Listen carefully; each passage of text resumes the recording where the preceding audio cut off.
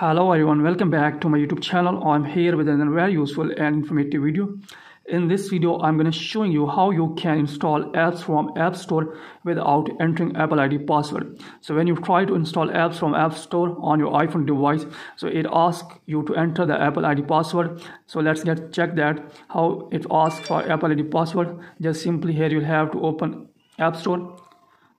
Then let's try to install this app here you can see that it's asking me to enter the apple id password. So just simply cancel here. How you can turn this off? You will have to just simply open setting of your iphone device. Then here you will have to scroll it below tap on screen time. After that here you will have to scroll it below tap on content and privacy restrictions. After that here you'll have to tap on itunes and app store purchases. After that here you will find the option of always require and don't require. You will have to tap on don't require and here you will have to make sure that installing apps is allowed from here.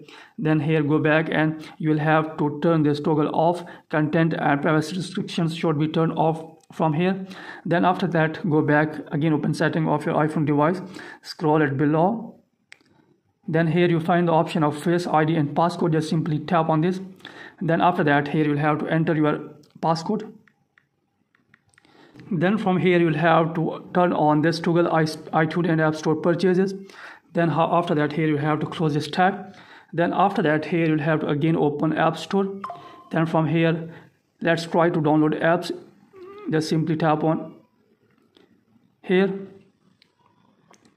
Here you can see that this application is being downloaded on my iPhone device without asking me to enter the Apple ID password so this is the way through which you can install apps on your iphone device without entering the apple id password. Hopefully you like this video. If you like this video then please subscribe my channel and also press the bell icon so that you can get my all upcoming videos. Thank you very much for watching this video